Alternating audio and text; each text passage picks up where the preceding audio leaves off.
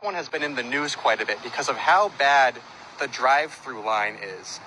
Uh-oh, sometimes viral videos make the news. So as a result of my video, the Connecticut posted a follow-up article talking to the Town Planning and Zoning Committee and their first selectman, and it turns out I stand corrected on a few things. So number one, the town denies that they were ever going to tell Starbucks employees to work faster, which, that's fair. I was just going off of information based on the Trumbull Planning and Zoning Commission minutes, which had a total of one sentence on this topic, as well as the original Connecticut Post article from 2021, which used the quote, pick up the pace, which generally means work faster, if I'm not mistaken, but okay, fair.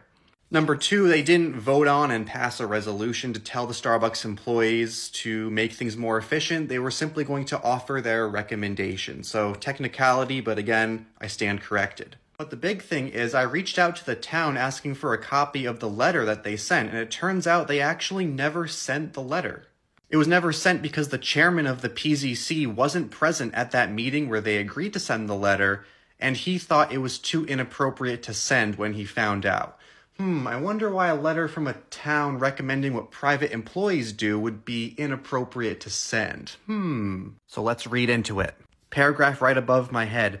When this commission approved the application for the Starbucks business, this drive-through window was discussed at length and the commission received assurances that it was completely manageable and would not cause any of the exact problems it is causing now. Hmm, I didn't know Starbucks employees themselves were responsible for the site plan layout that their business moved into. Again, above my head, as the situation stands now, the regrettable truth is that we have a traffic congestion issue as a result of this drive-through window.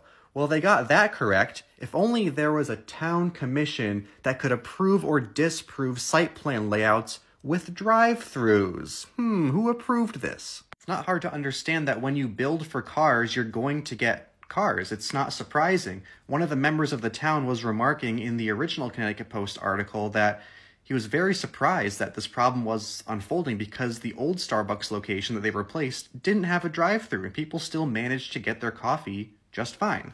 As I mentioned before, the drive-through is an illusion of convenience. Drivers think the drive-through is convenient for them, and so they will stack up in line, when in reality, it just throws a whole bunch of negative externalities onto the town that the drive-through is located in. You get a line of idling cars, you get poorer air quality, and you get traffic that backs up onto main roads. And yes, while I do stand corrected on some of the details of the video I posted, the fact still stands that the town was going to throw the responsibility of fixing the drive-through onto the employees and not recognize that this is a product of their own doing in approving a drive-through in the first place. Stop approving drive-throughs.